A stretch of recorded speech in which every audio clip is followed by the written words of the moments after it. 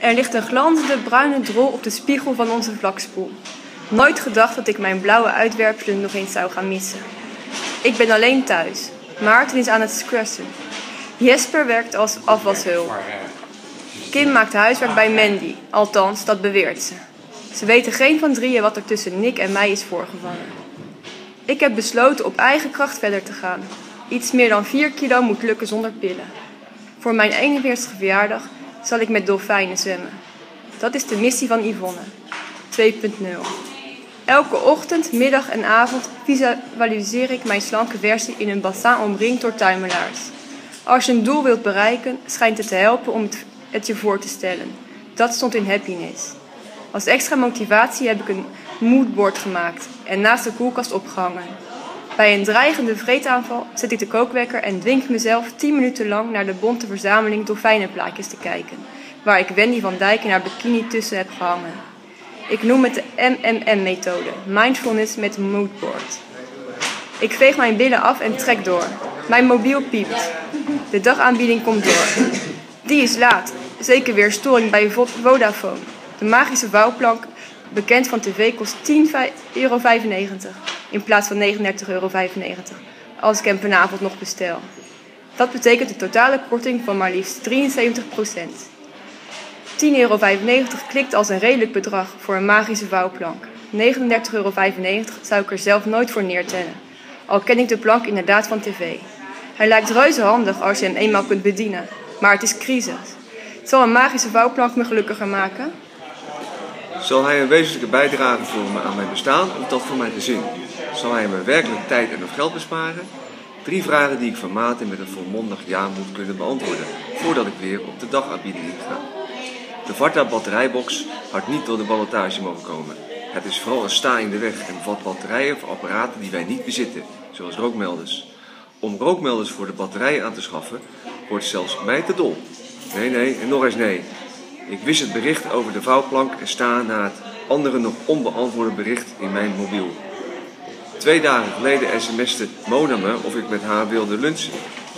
Als ik het niet had geweten dat het manwijf erachter zat, had ik binnen 10 seconden gereageerd. Nu laat ik haar wachten. Ze moet niet denken dat we op de oude voet verder gaan, omdat ze me in vertrouwen heeft genomen over haar draagmoederschap. Toch ben ik nieuwsgierig. Zou ze nog zwanger zijn? Ze is de jongste. Het, het kan hebben losgelaten. Ik hijs mijn joggingpak op, loop naar Maarten's werkkamer en zet mijn computer aan. Er zijn twee manieren om erachter te komen hoe het Monatoetje 13 is gesteld. Eerst maar eens langs de legale weg. Ik log in op Facebook. In het nieuwsoverzicht springt hij er direct uit. De foto van de zwangerschapstest met een plusje, gepost door Moon. De stik ligt op een felbegeerd tafelzeil met bloem, bloemetjesmotief dat ik, kan, dat ik herken als een van haar souvenirs uit Mexico. Moon heeft twee personen in de foto getagd. Zichzelf en Henriette Thijssen. En wat staat er nog meer? Hoera! Mijn BFF Henriette wordt moeder. Plop! Voor haar, niet voor mij, want ik draag een baby met veel plezier. A very happy moon. Het is nu officieel en iedereen kan het zien. Tot president Obama aan toe. Mona schouwt mij niet langer als haar hartsvriendin. Fijn om het via Facebook te vernemen. De foto heeft 178 vind ik leuks en 48 reacties. De allereerste komt van het manwijf. Lieve draagmoeder Moon, geen alcohol voor mij. Ik ben solidair en voel me net zo zwanger als jij. Deze respons valt in goede aarde. 23 vrienden hebben hun duim voor omhoog gestoken. De volgende reacties bestaan uit felicitaties aan de aanstaande moeder en draagmoeder, gelardeerd met vreugde, uitingen in alle denkbare vormen, maten en overtreffende trappen. Wat geweldig, fantastisch, schitterend, super, waanzinnig, ontroerend. Hartverwarmend en prachtig dat Moon de baby van het manwijf draagt. Ene Catharina Koek schrijft: Lieve Moon en Henriette, ik ken jullie niet persoonlijk, maar wil toch mijn felicitatie uitspreken. Toen ik dit bericht las, heb ik een paar traantjes weggepinkt. Het kan dus toch, naast de liefde anno 2013. Wat boef jij, Henriette, dat jouw innige wens om moeder te worden uitkomt, dankzij de opoffering van jouw hartsvriendin Moon. Dit geeft mij moed en hoop. Alle geluk van de wereld voor jullie drietjes. Kusje, kusje, kus. Hoppa, 7 vind ik leuk voor de waterlanders van Catharina. Moon vindt alle felicitaties stuk voor stuk leuk. Ook Congrats. Wie is de gelukkige vader? Al laat ze deze op zich logische vraag onbeantwoord. De ene na laatste reactie is van Moon zelf. Bedankt voor jullie superlieve woorden. Binnenkort de eerste echo. We kunnen niet wachten. Kusjes. Moon en hen. Hiermee scoort ze op de valreep 6 vind ik leuks en eronder prijkt het vooralsnog laatste commentaar van een van de weinige mannelijke reageerders. Mark Bouwmeester. Wedden dat het een jongen wordt? Met uiteraard drie vind ik leuks van Moon, Henriette en Catharina Koe. De respons van Mark is de enige die door Henriette wordt beloond met een opgestoken duim. Zou Bouwmeester de spermadonor zijn? Nieuwsgierig klik ik op zijn naam. Marks pagina geeft niets prijs over zijn beroep of relatiestatus. Als profielfoto heeft hij een plaatje van een bronzen beeld dat me, dat me bekend voorkomt. Het is een wolvin met twee baby's onder die aan haar tepels zuigen. Ik durf geen vriendschapverzoek te sturen. Misschien vergis ik me, zegt hij. Ja, en ik zit ineens met ene Mark Bouwmeester opgescheept. Van wie ik niets weet, behalve dat hij zich verwant voelt aan een grote wolvin met enorme tepels. Ik zou het aan Mona kunnen vragen, maar dan moet ik met haar lunchen. Ik kan ook even in haar Gmail gluren. Niet netjes, wel eenvoudig. Ik surf naar Gmail. Mona Toetje 13 heeft haar wachtwoord niet gewijzigd. Dankzij Victor en Rolf 123 zeil ik zo haar postvak binnen. Geen ongelezen berichten, gelukkig. Ik ben het trucje van Jesper alweer vergeten. Tussen allerlei nieuwsbrieven staat een mailtje van Mark Bouwmeester. Het heeft geen onderwerp. Mark Bouwmeester. Bouwmeestermarket.mail.com aan mij. Beste Mona. Van Henriette hoorde ik het goede nieuws. Gefeliciteerd. Zoals je weet zal ik me niet actief met de zwangerschap en het kind bemoeien. Hopelijk verloopt alles voorspoedig. Mocht je nog vragen of wensen hebben, laat het mij of Henriette gerust weten. Met vriendelijke groet, Mark Bouwmeester. Er loopt een koude rilling over mijn rug. Wat een zakelijk ongezellig mailtje. Mijn voormalige beste vriendin is in de klauwen van een heks en een wolf beland. Ze draagt hun kind, maar de consequentie daarvan dringt nog niet tot daardoor. Ze laaft zich aan de golf van positieve aandacht, zonder te beseffen welk wonder de komende maanden in haar lichaam zal vertrekken. Arme Mona, arme baby. Aan deze zwangerschap kleeft een duistere smet. Ben ik de enige die dat ziet? Ik log uit en strek mijn armen boven mijn hoofd. Maarten klaagt dikwijls over nek- en schouderpijn. Ik begrijp nu waarom. Van al dat computeren krijg ik kramp. Kramp en trek. Ik loop naar beneden, naar de keuken, waar de dolfijnen me al verder tegemoet lachen. Verdorie, ze zijn zo mooi. En ik wil het zo graag. Linda Shea heeft niets van zich laten horen. Het enige wat ze ooit voor me heeft gedaan, is mijn vriendschapsverzoek honoreren. Van Kim mag ik niets meer op Linda's tijdlijn posten, want dan word ik een zielige stalker. Mijn dochter houdt mijn Facebook-gebruik als een havik in de gaten. Laatst had ik lol onder een grappig filmpje op haar pagina gezet. Was er helemaal trots op. Ik had het woord al zo vaak gezien en begreep niet wat het betekende. Tot Jesper me uitlegde dat het een afkorting is van Laughing Out Loud. Na mijn lol onder haar post kwam Kim Bries een verhaal halen.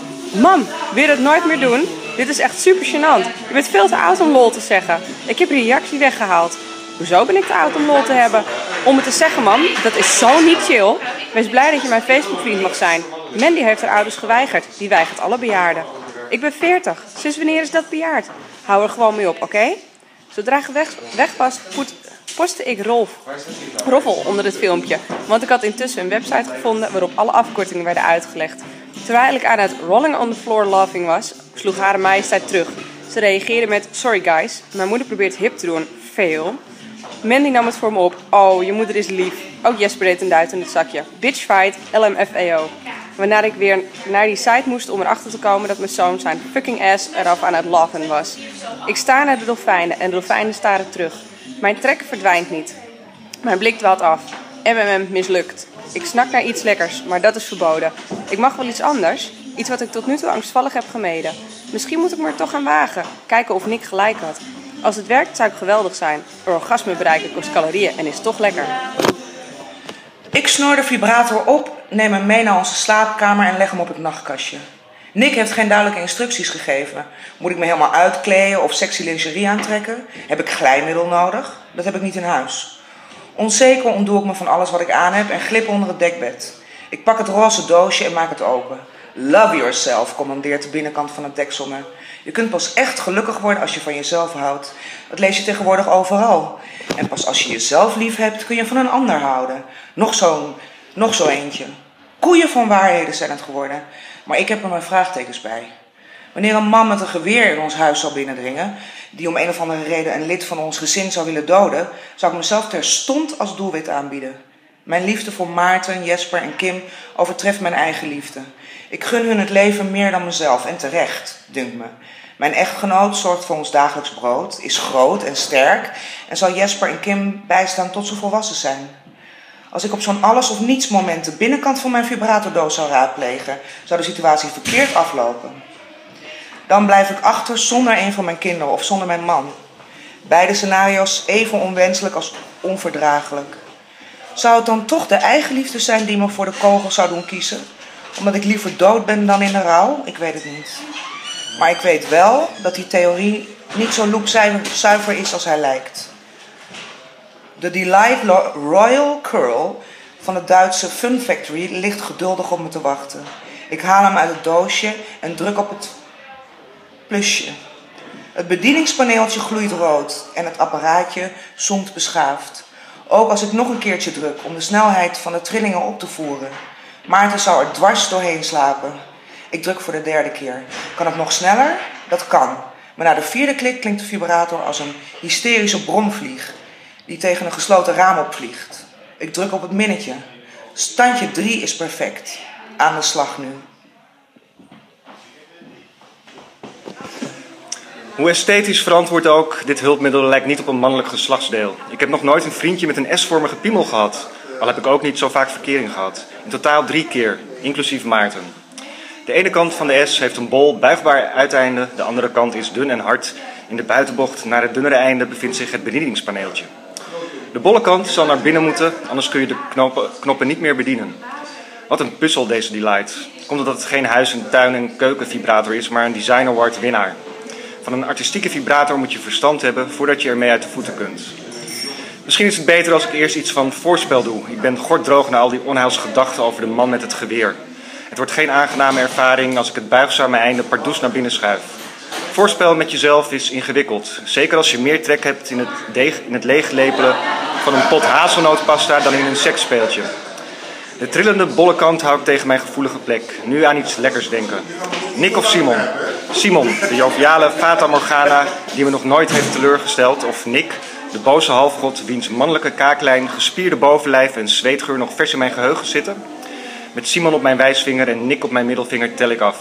Ine mine mutte, 10 pond grutte, 10 pond kaas. Ine mine mutte is de baas. Het wordt Nick. Nick en ik, wat zijn we aan het doen? Iets met nattigheid, dat lijkt met summum. Bad, douche, de branding of een waterval? Mevrouw de Graaf gaat voor de waterval. Kijk haar staan op het rotsplateau, 15 kilo lichter in een string met tijgerprint, terwijl het op en rond haar klettert en spettert. En daar komt Nick, slingerend aan een liaan met een lendendoek rond zijn heupen. Zijn haren zijn nat, uit zijn ogen druipt louter geilheid. De halfgod landt pal voor zijn prooi, trekt deze met een woestgebaar in zijn armen en plundert haar mond. Het beest heeft al in geen, tijden, in geen tijden een wijfje gehad en is hongerig. Als ze even naar adem hapt, drukt hij zijn duim in haar mond. Ze zuigt er krachtig aan om hem te imponeren. Sluizen hebben zich geopend en de vibrator trekt soepele baantjes tussen mijn schaamlippen. Aan vocht ontbreekt het niet in de erogene zone. Ik kan hem naar binnen proberen te geleiden. Het zal allicht aangenamer zijn dan een gynaecologische eendebek of die staafmixer zonder mes waarmee inwendige echo's worden gemaakt. Kom op Yvonne, dit is het moment. Ontspan, hou van jezelf en geniet van het beste product uit de pretfabriek. We tellen tot drie. 1, 2, 3 en daar gaat hij. Ik druk de zoemende, stompe haakvorm tegen de ingang. Er gebeurt niets. Ik druk een tikje harder. Nog niets. Sesam blijft gesloten. Jezelf penetreren is lastiger dan ik dacht. Ik moet doorzetten. Ik ben te weifelend. Maarten aarzelt nooit. Die duwt hem er gewoon in één keer in. Blind vertrouwend op de constante slagkracht van zijn breekhamer. Hij zou er een kluis mee kunnen kraken, beweert hij. En het verbaast me dat hij dat nooit heeft geprobeerd. Nieuwe poging. Eerst mijn benen wat wijder uit elkaar en mijn knieën optrekken. Handmatig de schaamlippen heropenen, wat extra vocht rond de ingang aanbrengen en nu niet meer piepen, maar doorzetten. Moedig voorwaarts. Door oefening sterk. Je hebt twee kinderen gebaard, Yvonne. Je vagina is geen verstaalse maagd. Beschouw het als een soort persen, maar dan omgekeerd. Pressen. Ik pres. De stomp blijft steken. Mijn heupen iets omhoog. Pressen. Harder. Niet bang zijn dat je uitscheurt. Het is geen kinderhoofd. 1, 2, 3, 4, 5, 6. Het lukt. De onderkant van de Royal Curl baant zich brommend een weg naar binnen. Ik word gevuld door een helft van een Duitse S apart. Ik vlei de rest van de S tegen mijn venusheuvel, aannemend dat dit de bedoeling is. Dan ondervindt mijn clitoris ook wat voordeel van het inwendig tril. Als ik tussen mijn benen kijk, zie ik het bedieningspaneeltje met een plusje, het woord fun en een minnetje onder elkaar. Alle drie lichten ze rood op. Fun lezen is wat anders dan het ervaren. De magie tussen mens en machine is nog niet optimaal. Om meer fun te hebben, moet ik waarschijnlijk nog een keer op het plusje drukken. Ik druk. Het inwendige zoomen zwelt aan. Mijn opwinding neemt niet evenredig toe. Nog een tandje bijzetten. Het resultaat valt tegen. De techniek staat voor niets. Trillen kan herdelight als de beste, maar in mijn hogere sferen te komen, moet ik de rest van mezelf erbij verzinnen. Ogen dicht, terug naar Nick. Hij heeft me uit het watergordijn getrokken, tegen de rotswand gezet. Het, en het is me in mijn nek aan het bijten. Ik tril van genot. Zijn lendendoek is zo dun dat ik, tegen, dat ik een vage notie krijg van de omvang van zijn lid. Zo te voelen is er zeker sprake van een respectabele lengte. Allemaal tevoorschijn, instrueerde hij mij. Hoe weet hij toch altijd wat ik denk? Ik til de lendendoek op, een lendendoek op alsof ik een nieuw gejanst kunstwerk onthul. Er openbaart zich een erectie waar u tegen zegt. Een licht gekrompen penis van het formaat van een anaconda, net als kroonjuweel en eikel die gelijkenissen vertoont met een forse inktzwam, maar dan voorzien van een roze afwerking in plaats van een zwarte. Dat meen je niet, roep ik uit. Hij glimlacht tevreden. Glimlach van een man die al menig vrouw versteld heeft doen staan toen hij zijn unieke sellingspoint ten eerste malen toonde. Ik zakte op mijn knieën. Mag ik? Vraag ik iets met iets van ontzag in mijn stem. Hij klinkt toegevelijk. Ik neem hem nog eens denkbeeldig, de maat en schud mijn hoofd. Als ik het maar red. Wat, ik hier, wat hier voor me verrijst is zonder twijfel de Mount Everest zon onder de pikken. Ik zou wel een Sherpa kunnen gebruiken voor de nodige don'ts. Do's en don'ts. Zuig aan mijn ballen. Oké, we beginnen onderaan. Wel zo makkelijk en overzichtelijk. Ik voldoe aan zijn verzoek en neem tenslotte uh, neem zijn testikels in mijn mond. En ik lik daarna het plekje tussen, tussen mijn ballen in de schacht. Het is heel gevoelig. Nick weet wat hij wil. Alpha-mannetje is het. Verbaast me niks. Terwijl ik me denkbeeldig laat domineren, snort Her de light en lustig op los. We raken samen een prettig ritme. Ik manoeuvreer hem lichtjes heen en weer en op en neer en druk hem zo goed mogelijk tegen mijn klit. Mijn ademhaling wordt zwaarder. Aangename prikkelingen verspreiden zich over het bewerkte gebied.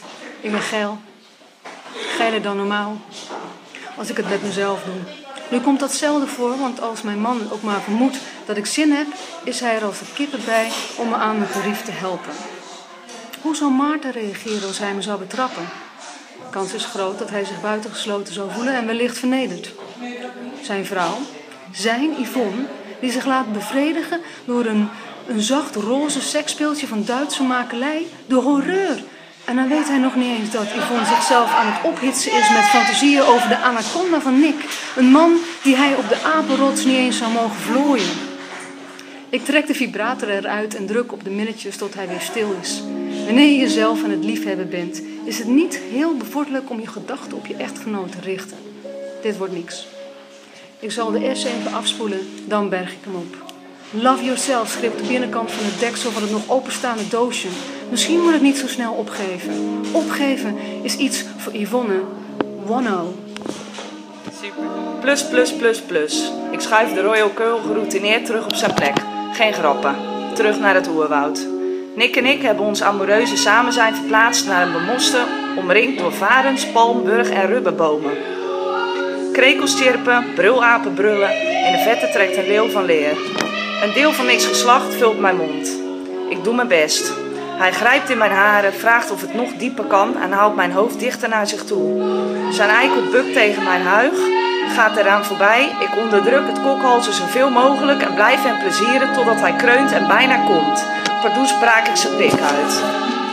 Nog even wachten, zeg ik, nadat ik wat omhoog gekomen kokosnootsap heb weggeslikt. Eerst neuken. In mijn fantasie kan ik Nick minder breedsprakig maken. Een groot voordeel ten opzichte van de werkelijkheid. Graag. Hij duwt mijn schouders, ik val achterover in het mos. Hij opent mijn benen en penetreert me zonder omhaal. Plus plus, de turbostand. Nick neukt je, stoot in je. Hij blijft doorgaan, neukt snel, onvermoeibaar. Herdeerlight kan hem amper bijhouden. Die heeft zijn topsnelheid bereikt. Mijn coach had gelijk, dit is beter dan zoetigheid. Aan de andere kant, ik zou geen bezwaar maken tegen een stukje chocola op het nachtkastje. Gewoon voor erbij. De vibraties brengen me dicht in de buurt van een hoogtepunt. Dat moet ook wel, want straks komen de kinderen thuis. Of Maarten. Niet aan je gezin denken, niet nu. Denk Nick, denk neuken. Hard, diep. Heer die light trilt onvermoeibaar door. Valt me mee dat hij het zo lang volhoudt. Moet een flinke accu hebben. Niet aan de Varta batterijbox denken. Nog aan de Duitse Grundlichkeit. Nick me, stotend, hijgend. Hij moet me aan. Kom maar schatje, doe maar, kom. Ik kom niet. Lamme hand. Op het rappe tempo nou, is het nogal mechanisch en statisch wat de Royal Keur presenteert. Mijn clitoris wordt verre van, van optimaal geprikkeld. Het daardoor bedoelde bobbeltje op de vibrator is hard en onbuigzaam. Ik moet de uitwendige helft van de S zo stevig aandrukken om iets van de inwendige trilling mee te krijgen dat mijn venusheuvel begint te schrijnen. Hedy Light doet binnenin vermoeide pogingen mijn G-spot te stimuleren, maar die heb ik nog nooit kunnen lokaliseren en mijn man ook niet. Na een jarenlange zoektocht zijn we tot de conclusie gekomen dat ik geen G-spot heb. Ik voel me schuldig ten opzichte van Maarten dat uitgerekend hij, een man die zo van seks houdt, met een vrouw zonder G-spot was getrouwd. Hij zei dat hij me lekker genoeg vond en dat het niet uitmaakte. Een paar maanden voor, de, voor mijn 40ste verjaardag heb ik overwogen naar mijn huisarts te gaan om te vragen of hij hem wel kon vinden en zo niet om te vragen of er een chirurgische oplossing voor was. Toen ik alvast het G-spot woord G-spot implantatie googelde, bleek dat het laatste ijdele hoop. Ik vreesde dat mijn dokter Mens mijn G-spot ook niet zou kunnen ontdekken en me naar een gynaecoloog zou doorverwijzen, die na talloze vergeefse pogingen met en zonder co-assistenten de eerder getrokken conclusie van Maarten en mij zouden ondersteunen en me een folder van de praatgroep GGSL, geen G-spot lotgenoten, zou overhandigen. Ik gun iedereen zijn of haar verwerkingsproces, maar in een kring met elf andere vrouwen en zitten jammeren over een leven zonder G-spot lijkt me tijdverspilling. Dan maak ik me liever nuttig met het voorkomen van dat de grutto uitsterft. Van alle grutto's in Noordwest-Europa broedt 90% in ons land. Te weinig mensen beseffen dat. Mona heeft wel een G-spot. Het is een vies praatje, maar zij beweert dat ze je kan ejaculeren als een bedpartner haar spot op de juiste manier stimuleert. Wat er dan uitspuit is zo bovenmatig veel dat ze stapels handdoeken moet klaarleggen. Anders raakt haar matras hartstikke doorweekt.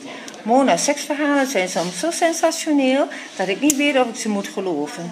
Het is fijn om intieme ervaringen met je beste vriendin te delen, maar het kan je ook onzeker maken. Zeker zie-spotlozen, zoals ik. Nog steeds geen orgasme? Mijn fantasie over Nick is weggeëpt. En ik droog langzaam op. Ik lig hier al uren met die S in mijn flemus. En wat heeft hij nou helemaal gepresteerd? Zijn getril is saai. Er zit weinig variatie in. Wacht even, ik heb iets op de doos gelezen over een verrassingsstandje. Waarom ben ik toch zo stom geweest om de verpakking inclusief de gebruiksaanwijzing weg te gooien? Min, min, min, min. Ik trek de vibrator eruit, pak een tissue, veeg hem schoon, leg hem in het doosje annex de oplader lader en steek de stekker in het stopcontact. Een beetje rillerig breng ik de computer in Maartens werkkamer tot leven. Ik blijf erbij staan. Ik kan moeilijk in mijn blote kont op een bureaustoel met stoffen bekleding plaatsnemen. Ik google Fun Factory Delight en vind een site waarop wordt uitgelegd dat je de vibrator tot zijn hoogte pulsatiesnelheid moet brengen en vervolgens nog een keer op het plusje moet drukken om het apparaat te laten overschakelen op andere vibreer- vibreerfrequenties. Ik ben benieuwd. Je staat te kijken van de hoeveelheid orgasme waartoe je, waartoe je lijf in staat is. Lees verder, het nieuwe klaarkomen. Als ik het nieuwe klaarkomen aanklik, beland ik op een pagina waar de G-spot en de vrouwelijke ejaculatie worden opgehemeld. We hebben een aantal perfecte dvd's die je helemaal inwijden in het fenomeen G-spot orgasme en ook de vrouwelijke ejaculatie of, ofwel squirten. Klik hier voor meer. Ik vertik het. De G-spot is een gepasseerd station en dat squirten vind ik een malle bedoeling. Maarten ziet me aankomen. Ik zal de andere vibreerfrequenties een kans geven, maar dan houdt het op. Verbeten en afgekoeld kruip ik terug onder het dekbed. Hopelijk is Hair Delight voldoende bijgeladen voor de verrassingsstand. Plus, plus, plus, plus, plus en de bonusplus. We gaan het meemaken. Hair Delight begint te stotteren alsof hij een epileptische aanval krijgt. Trilt, stopt even en trilt weer door. Pulseert lang en hevig, houdt zich in en komt dan door met een reeks korte stootjes. Ik bekijk zijn toeren met stijgende verbazing. Als Steve Jobs onder de vibratorontwerpers ervan overtuigd is dat hij mij middels deze stuiptrekkingen tot grote hoogte kan brengen, wie ben ik dan om hem tegen te spreken? Met een beetje spuug maak ik mezelf wat natter. Ik breng de S in. Het gehakkel gaat door, maar dan van binnen. Het doet me denken aan mijn volautomatische broodbakmachine. Als hij aan het kneden is, laat hij het tegen soms ook even, even rusten, om daarna weer volle vaart door te gaan. Als ik dit jaar nog, nog, als ik dit jaar nog tot orgasme wil komen, zal ik wederom hulp nodig hebben van een mentale stimulans. Pak ik de draad met Nick op of probeer ik het met Simon? Ik kan ook de huisarts nemen, mijn gouden ouwe. Die heb ik al heel lang niet gedaan. Ik kom bij de huisarts voor mijn jaarlijkse uitstrijkje. Dokter Mens is ziek, vertelt mijn assistente. Niks ernstig hoor, voegt ze er snel aan toe als ze mijn geschrokken blik ziet. Een verwaarloosde griep. Volgende week is hij er weer. Oh, oké, ik kom dan wel terug. Kun je een nieuwe afspraak voor me maken? Weet je het zeker? vraagt ze met een ondeugend lachje. Zijn vervanger is een hottie. Een wat? Een lekker ding. Ik ben hier voor een uitstrijkje. Daarom juist. Ik zou het wel weten.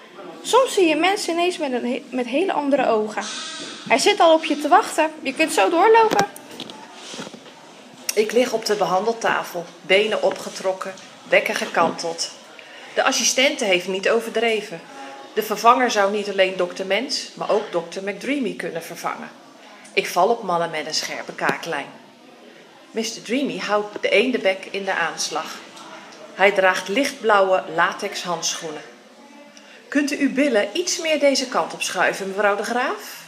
Natuurlijk. De kruis kan niet dicht genoeg onder zijn neus belanden. Ik heb het spectrum even onder de warme kraan gehouden. Attent. Vakkundig opent hij mijn schaamlippen. Hij zet de punt van de ene bek tegen de opening. Duwt lichtjes, maar houdt dan in. Bent u erg nerveus? Een beetje. Ik ben bang dat het vervelend wordt als ik doorga.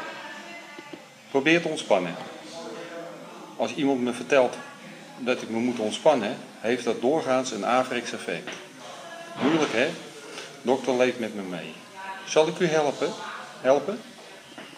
Het is een beetje ongebruikelijk, maar als u geen bezwaar tegen heeft.